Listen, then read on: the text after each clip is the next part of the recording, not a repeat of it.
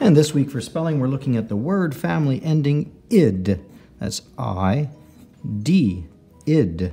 So we'll make that our title. And up top, let's put the date up here for whatever date it is for you today. We're going to have six words, so let's number them one, two, and three with some spaces in between down that side. And fold our page, find out where that middle of the page is, and put our four, five, and six right on that fold line. Now, the word family id means all the words are going to end in id. I just don't know what the beginning is going to have. So I'll put a line for those mystery letter or letters, and we'll put our ID ending after everything else. I will give you a hint.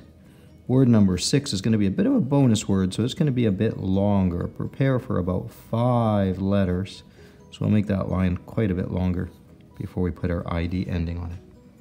Let's take a look at some of those id words.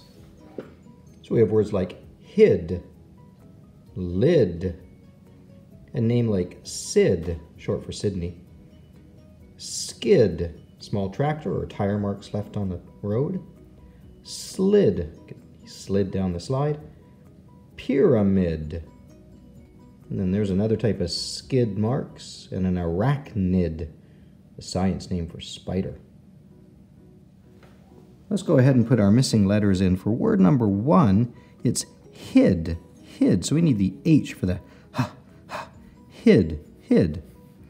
Word number two is lid. So we need the L, the letter L, L, lid, lid. Word number three is Sid. We need the S, S, but because this is a name, big capital S for a name. Sid, Sid.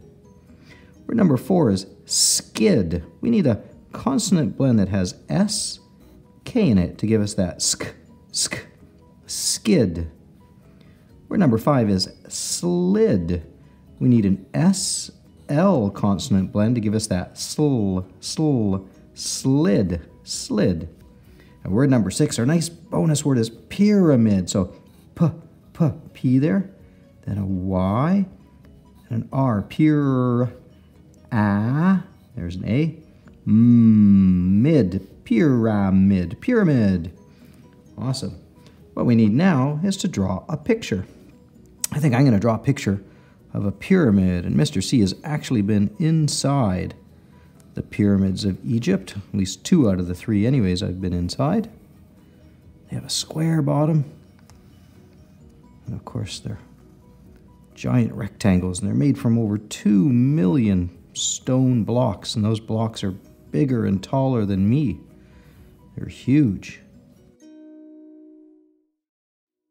You can't climb up the pyramids, but you can actually go inside of them. Kind of like tunnels that lead to rooms.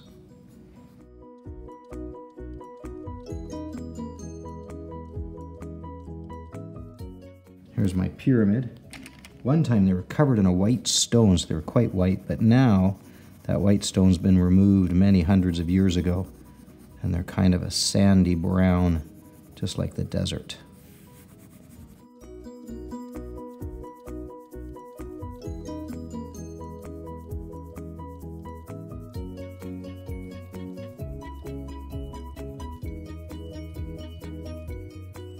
There's my pyramid out in the Sahara Desert. I'm going to write pyramid, so I'm labeling my picture. And that was the bonus word, word number six, pyramid. And there's my six words from the word family, id.